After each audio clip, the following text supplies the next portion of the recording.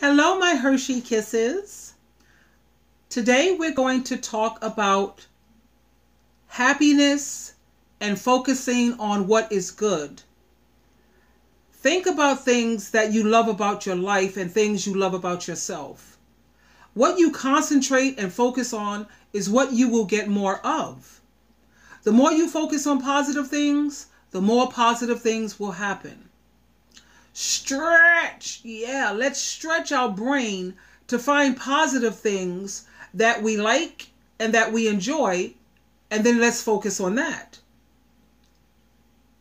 Before you go to bed at night, write down in your journal. I hope you have a journal because I love having a journal.